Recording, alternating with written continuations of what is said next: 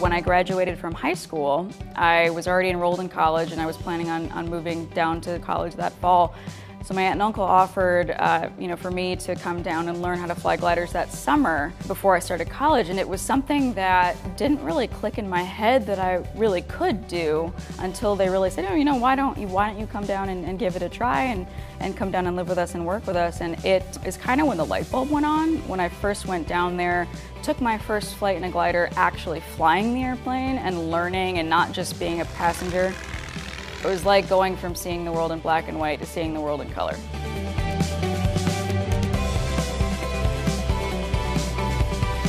I did a little bit of research and found out there's a school in Daytona Beach, Florida called Embry-Riddle that specializes in aviation. And I said, that sounds like a good way to move this along quicker. So it provided me with a very direct path to achieve my goals.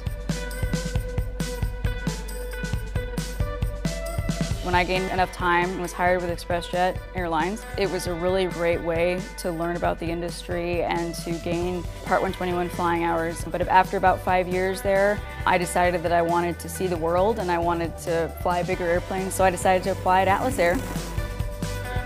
I've been flying there for about seven months now, and we go all over the world, literally flying 747 as a first officer. It's been thrilling to, to fly it because I never thought that I'd get the chance to.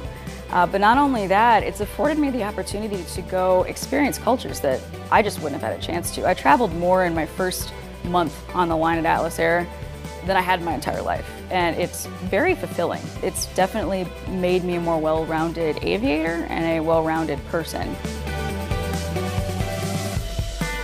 I would tell somebody younger than I that there is a plethora of information out there available. AOPA, Aircraft Owners and Pilots Association, the EAA Experimental Aircraft Association, they are very, very big into outreach and getting people involved in aviation that might not have originally done it.